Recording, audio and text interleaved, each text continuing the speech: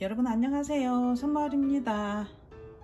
오늘은 한여름만 빼고 초여름까지 계속 예쁜 꽃을 볼 수 있는 카랑코에 분갈이 하는 방법과 삽목하는 방법 또 외목대로 만드는 방법 또 꽃은 어떻게 해야 잘 피우게 되는지 이런 방법들을 알려드리려고 하는데요. 끝까지 잘 봐주세요. 먼저 카랑코에를 보여드릴게요. 와 이거 보세요 여러분. 색깔이 너무 예쁘지 않나요? 이렇게.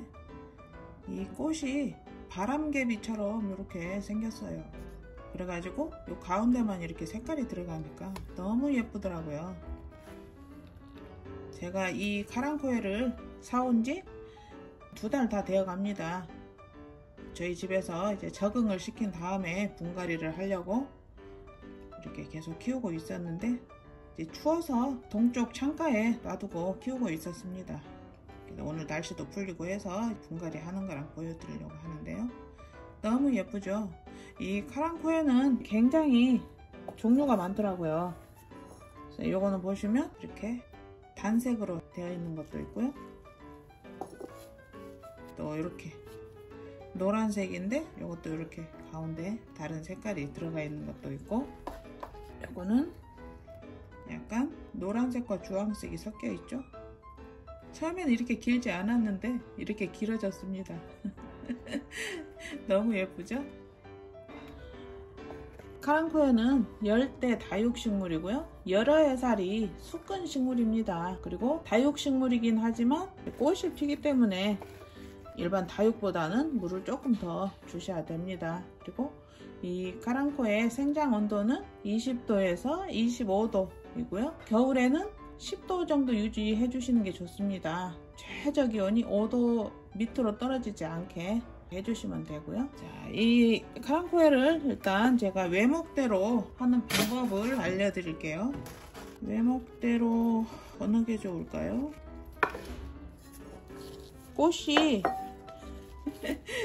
위에가 너무 무거우니까 이 작은 플라스틱 화분이 가볍기 때문에 넘어갑니다. 물을 많이 주는 식물이 아니기 때문에 넘어갑니다. 그래서 제가 이렇게 화분을 하나씩 해놨고요. 이렇게 하면 넘어가지 않죠? 자, 요걸로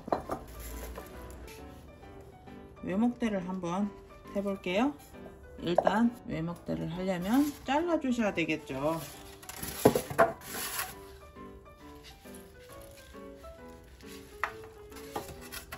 제가 며칠 전에 여기다가 물을 줬는데 아직 흙이 마르지 않았군요. 자 잘라 주시려면 이렇게 가위나 전지가위를 이렇게 라이터 같은 걸로 이렇게 소독을 해주시면 됩니다. 바이러스 같은 게 침투하면 안 되기 때문에. 네, 라이터가 없으시면 가스불로 하셔도 되고 또 인덕션 쓰시면 그것도 없죠. 알콜로 닦아 주셔도 됩니다. 외목대로 할 건데 밑에서부터 이렇게 엄청 많이 나 있죠 밑에까지 있어가지고 위에 흙을 살짝 털어줘야 되겠습니다. 또 뿌리를 많이 뜯어내면 얘도 스트레스를 받겠죠? 위에는 뿌리가 별로 없습니다. 그래서 얘를 자르기 위해서 살짝만 위에를 흙만 털어내겠습니다. 자, 얘를 잘라야 되는데 카랑코에 본 줄기를 다치지 않게 조금 떼어서 이렇게 잘라주시면 되고요. 이파리도 자르셔야 되겠죠? 잘 보이시죠? 자, 이파리 이렇게 잘라주시고 꽃도 잘라주시고.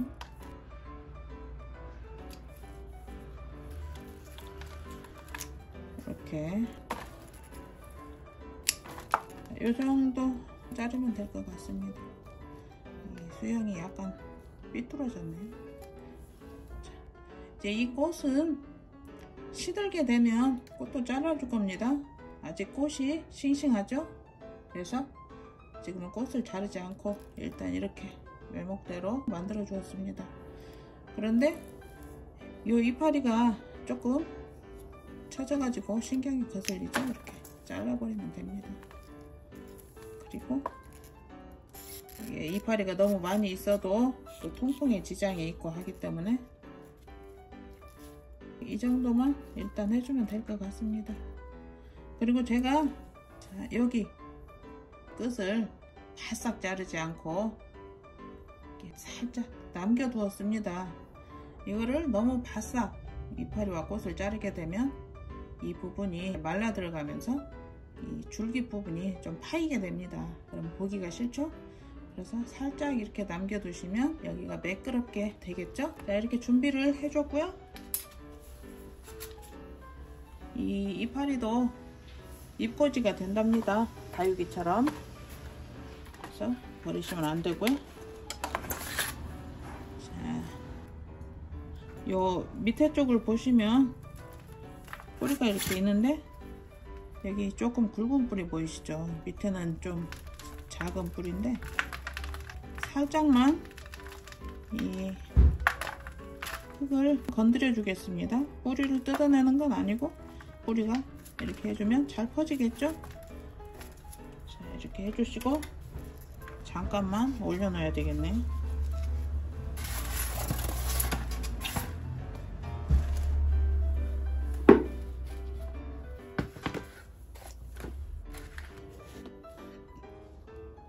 이 흙은 상토입니다. 상토에다가 제가 여기서 쓰고 있는 송이 가루 이거를 섞어 줄 건데요.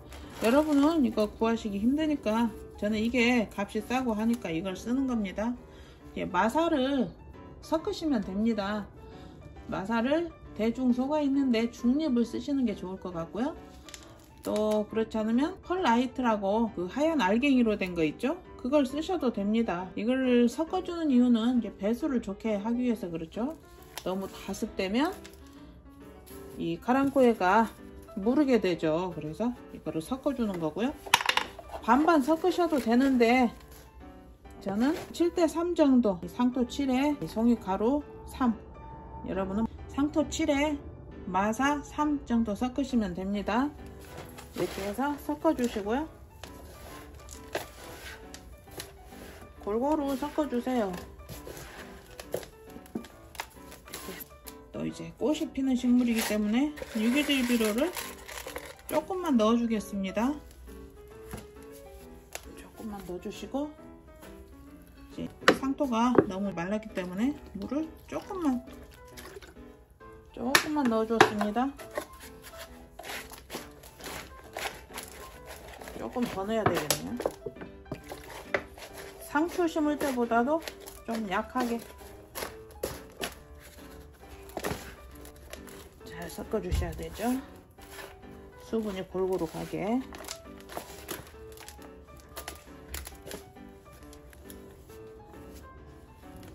자, 보시면 이렇게 그냥 부서지죠. 수분이 살짝만 있습니다. 살짝. 자, 어느 정도인지 아시겠죠? 물 너무 많이 넣지 마시고요. 그리고 이 화분은 카랑코에는 너무 과습되면 또 안 되는 아이이기 때문에 이렇게 토분이나 또 플라스틱 화분이 좋습니다. 사교 화분은 흙이 빨리 마르질 않죠. 그래서 저는 토분을 준비했는데요. 또 크기도 너무 크지 않는 게 좋습니다. 보시면 원래 있던 화분 이렇게 화분이 너무 커도 과습되기가 쉽죠. 가급적이면 너무 크지 않은 거. 카랑코에가 커짐에 따라서 분갈이를 해주시면 되기 때문에 적당한 거를 이렇게 쓰시면 좋습니다. 여기다가 흙을 바로 또 넣으시면 물을 주면 이 깔망을 막는 경우가 또 생깁니다. 그래서 여기다가 마사나 송이 같은 거 조금만 넣어주시면 좋습니다. 이제 흙을 넣어주셔야 되겠죠?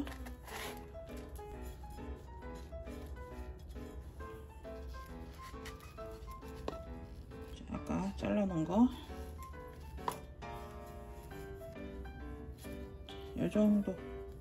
화분보다는 얘가 조금 더 밑으로 내려가야 되겠죠. 흙을 넣어주시고 옆에를 잘 눌러주셔야 되겠죠.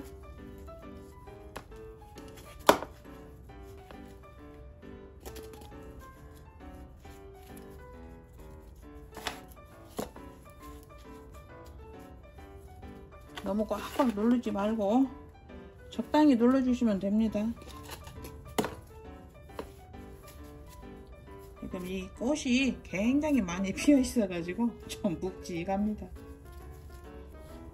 자, 이렇게 잘 심어 주었고요.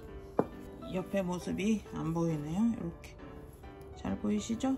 외목대로 이제 점점 자라면 이 줄기도 이제 점점 위로 올라가게 되니까 이렇게 하시면 되고요.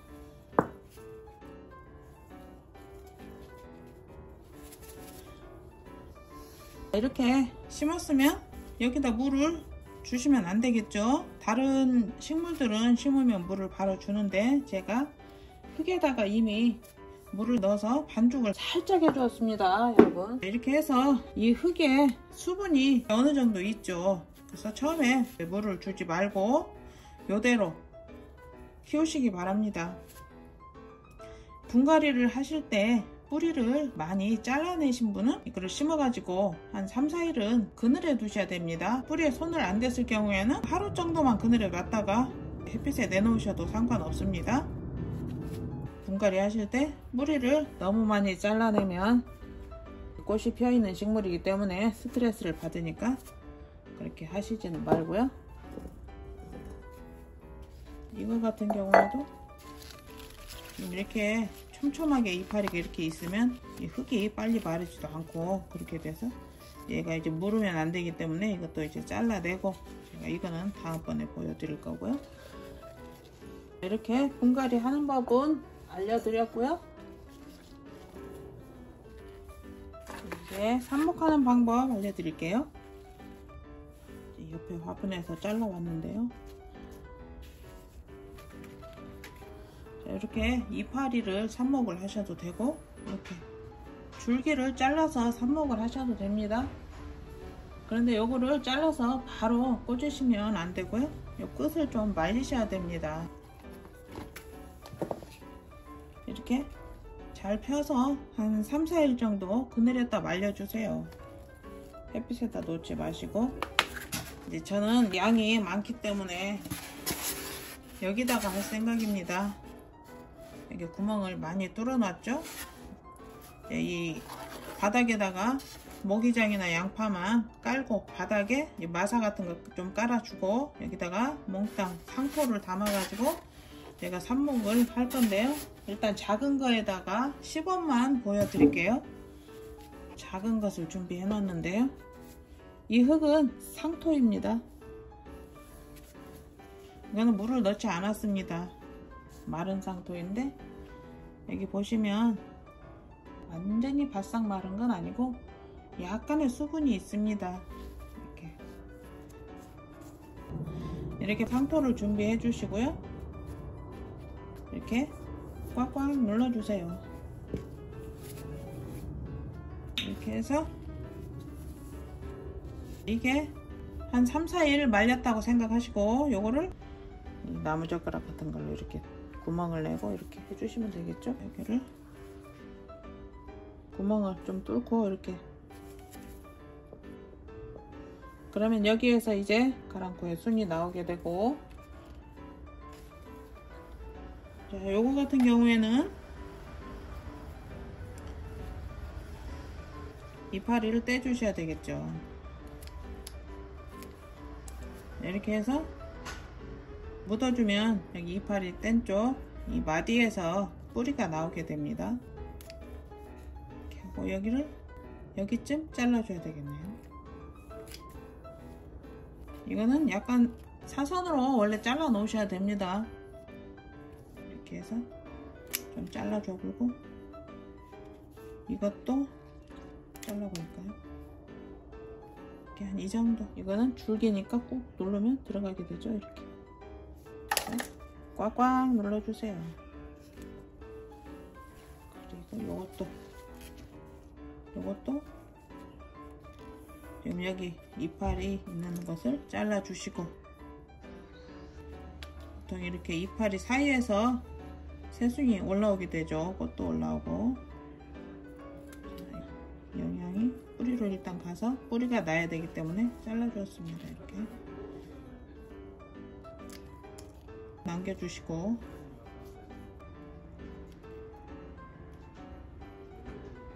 이런 식으로 해주시면 됩니다. 이 꽃도 꽂아 놓으면 뿌리가 난다고 합니다. 이건 제가 안 해봤는데 이렇게. 구멍을 뚫고 이렇게. 제 친구가 꽃만 이렇게 꽂아 놨더라고요. 뿌리가 난다고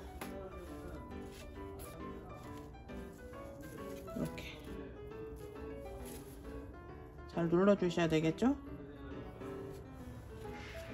이것도 이렇게. 이 이파리는 조금 시간이 걸린다고 합니다. 이런 식으로 하시기 바랍니다. 저는 이거를 아직 말리지 않았기 때문에 다시 뽑아서 이제 한 3일 말릴 거고요. 자, 이런 식으로 하셔가지고 요거를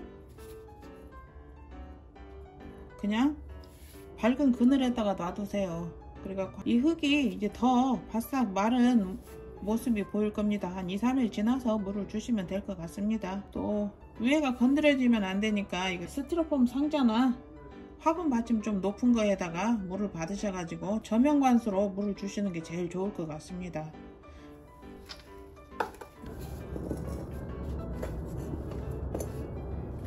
카랑코에는 보통 꽃이 다 피어 있는 걸 사갖고 오게 되죠. 꽃이 한 두 달 가까이 가더라고요. 지금 제가 이거 사온 지 한 두 달 가까이 됐습니다. 그런데 이제 이 꽃이 지고 나면 여기 보시면 이 꽃이 이렇게 한 송이에 피고 지고 피고 지고 하기 때문에 이렇게 거의 진 거 이런 거 따주시는 게 좋고요 이렇게 그래야 다른 꽃이 빨리 올라오겠죠